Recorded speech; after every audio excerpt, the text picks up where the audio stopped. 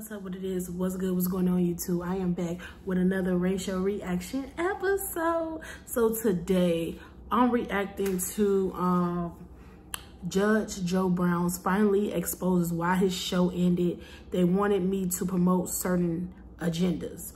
So y'all, we all grew up on Judge Joe Brown because I thought that he got canceled because they caught him drinking every day.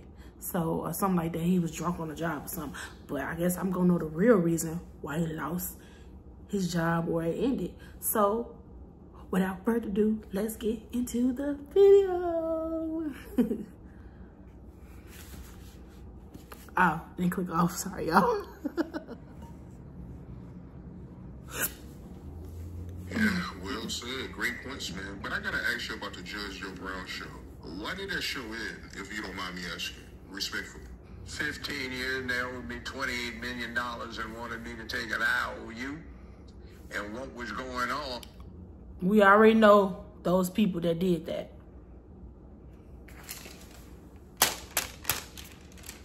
no racist shit. is a lot of chicanery happening. I had a contract that said I got 45% of the unadjusted gross the stockholders newsletter for CBS said I was their most profitable show and they listed the amount of money I was bringing in. I wanted my 45% of it. And they started talking about what happened and started going through all kinds of changes. So every year I had to go through this in and out of them stealing money. And then at this point in time, see, I was in a special unit of CBS. It consisted of Dr. Phil, Oprah Winfrey, Judge Judy, and Judge Joe Brown. And there was a guy named Roger King who discovered Oprah and Phil that CBS brought in when he brought in Phil and Oprah, and they gave him me and Judy. He called me to a side and he said, man, they're doing you wrong. See, he wasn't a Hollywood type. He was a former pro football player, and he inherited this from his dad, who mm. invented TV syndication. He said, I don't like what I'm seeing. I'm going to fix this up. So the last four or five years, I was beating Oprah every day in the rating. Well, Phil every day in the ratings, mm. and Oprah every week in the ratings, but Oprah's the superstar. That's shocking, though.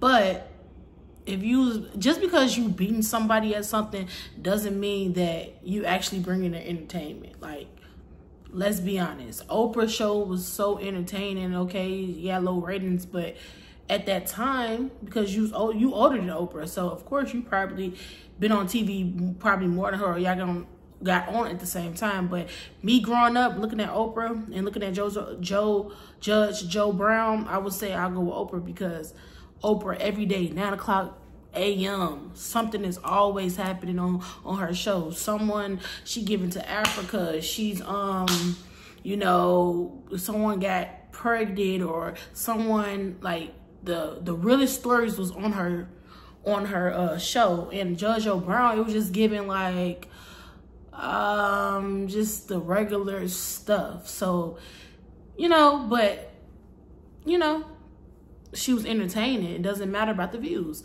And I just feel like that goes with, um, even on YouTube, like the most people that even get more views are not very entertaining. They just doing stuff. Like everybody just doing pranks, pranks, pranks, pranks, pranks, and doing stuff for views. And some of that stuff is not entertaining. So I feel like at that time, back, back in that day, I just feel like Oprah, I, I, I could see where she got more clout more than Joe. But he just got he just had the top rating, but she had that on. She was still young at that time. So yeah, I guess. Not Judge, uh, not Judge Brown. CBS was saying I was their most profitable show and was greatly responsible for 14. So he was making the money for them, uh, basically. of increased profit. The last four of which were the most profitable in the entire history of CBS thanks to me. And then when I'm confronting to them, they want to give me an IOU for $28 million. What happened to the $28 million? Well, they found out that the first CEO we had had embezzled $25 million and they didn't want stockholders to find out about the theft. Next thing, they brought in some junior executives who come into a show that has been a hit for 12, 13 years. But they have nothing that they can claim as fame. So what they were doing was embezzling money to use to finance shows that they were setting up, every one of which was a flop. So I was over retirement age. I said, hey, I'm over 65. The hell with this. I'm retiring. I don't have to deal with this. Right. So I hired a lawyer. I paid him all the retainers. It was interesting. He also represented some other prominent figures. But I got all my retainer checks returned from his law firm because he turned up missing. And that was 12 years ago, and nobody's seen him since. They think he's dead. So I don't like Mission Impossible. What they were doing was diverting money that I was supposed to get a percentage of to finance the distribution for all of the Tom Cruise Mission Impossible movies. Uh, it was like, where's my money? Mm-hmm. So in order to get your money, you have a contract provision. And I feel like y'all, that's why it's so important to,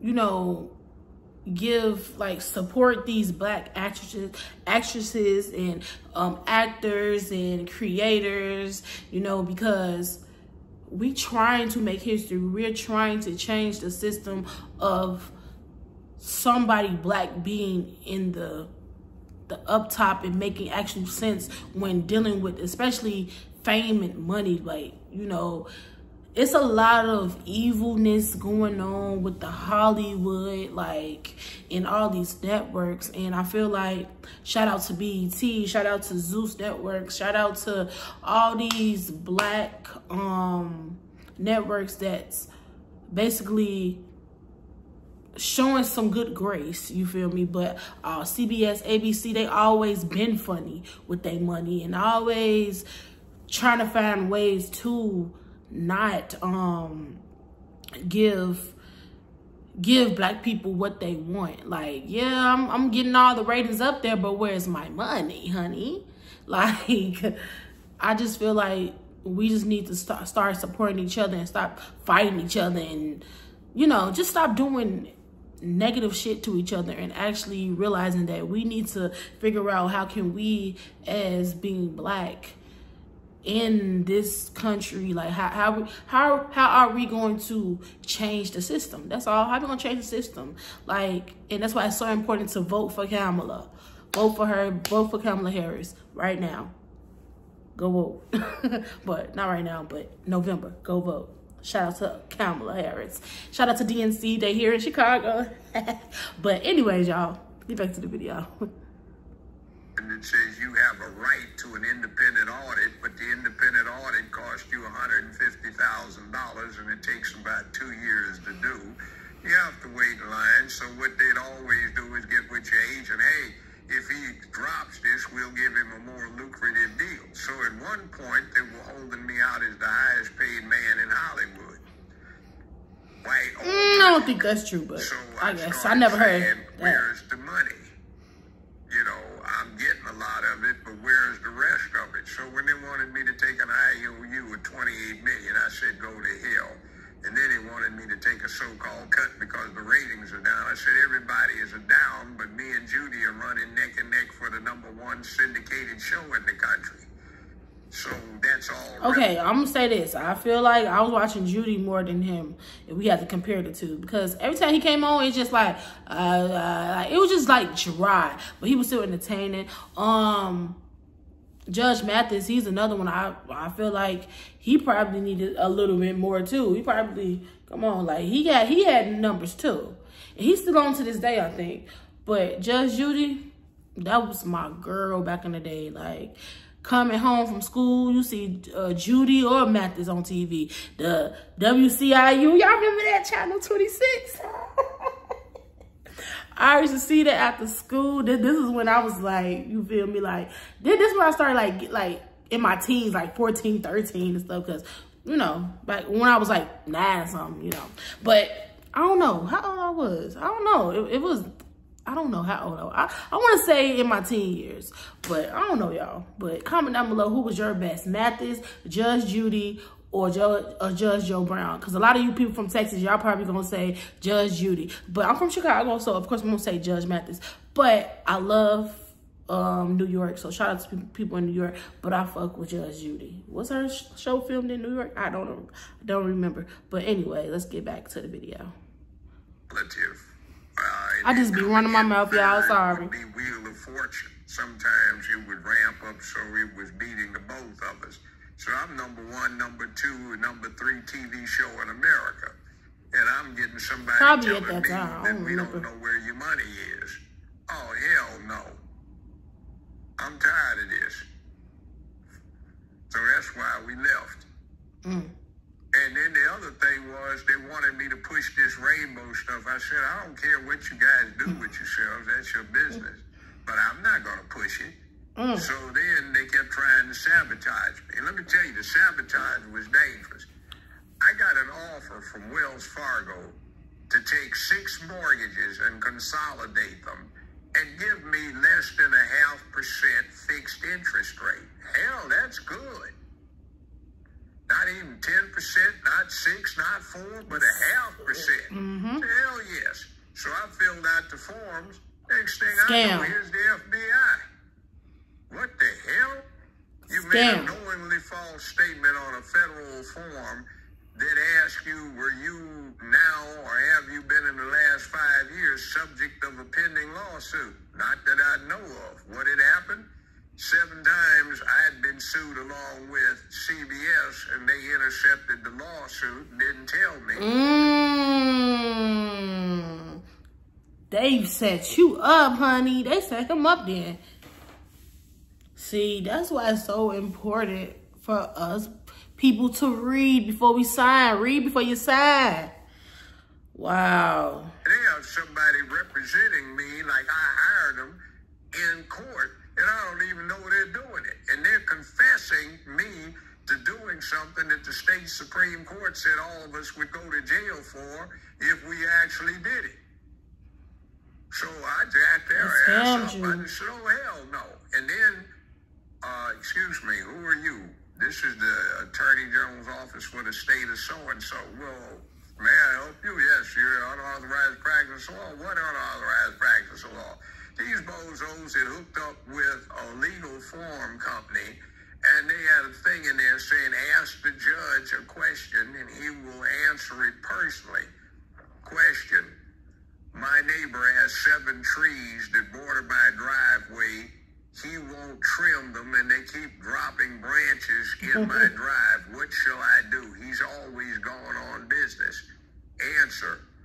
I would ask him politely to move them, and if he doesn't hire a tree cutting firm and cut his trees down while he's out of town, that's way wrong, and I didn't say it, but somebody's getting me for unauthorized practice of law because these clowns did it in my name. It was dangerous what they'd come up and do, and you didn't know about it. Wow. I don't know if that's done, y'all. Wow, that's crazy.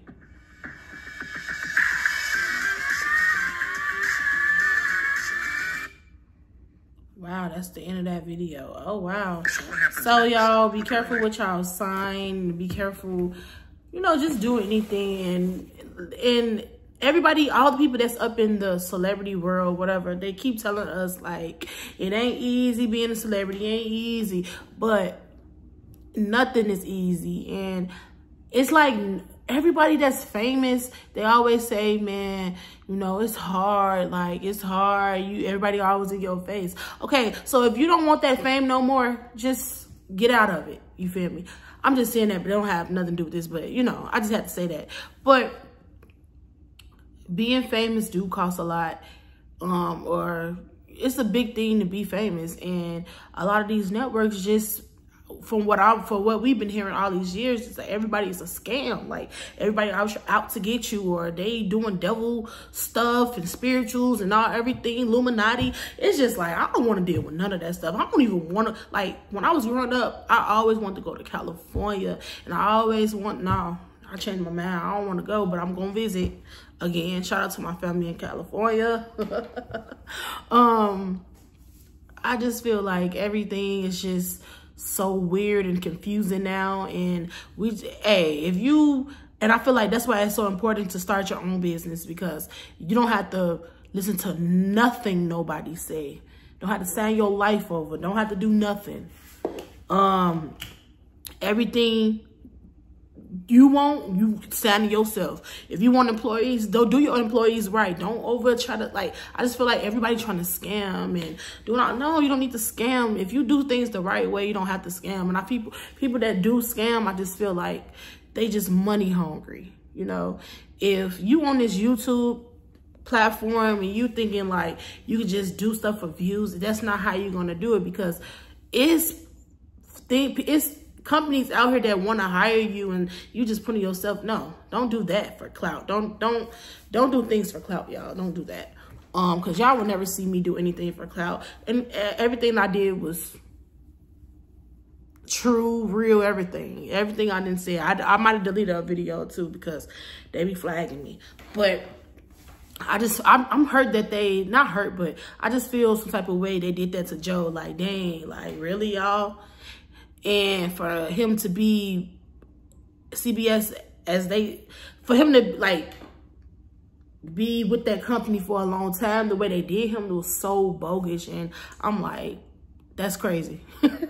This is crazy. Like the world has changed and ah uh, y'all pray for the world. Like we just gotta pray. We all we all gotta start coming together, y'all. Like what is going on? Everybody just want to fight each other. Everybody just everybody just scamming, scamming, scamming. Ever since COVID, people been scamming people. Even before COVID, but it's like when COVID hit, everybody's just scamming, scamming, scamming, giving us Shein outfits, no, giving us Alibaba, Alibaba outfits off and make it seem like they create the outfits. The whole time somebody just exposed them. It's like, it's so easy to get exposed nowadays. It's like everybody want to record you. Everybody just want to just do something. But yeah, y'all. So anyways, y'all, if y'all like this video, comment down below. If you want me to do more reaction videos, comment down below. Also, like, comment, subscribe, and don't forget to turn on that notification bill, bill, and always remember the purpose of living is to keep on living. Kill the music. Bye.